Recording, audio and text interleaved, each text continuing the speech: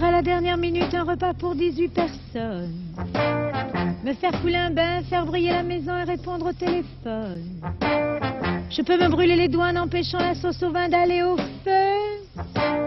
Je peux faire tout ça en même temps simplement parce que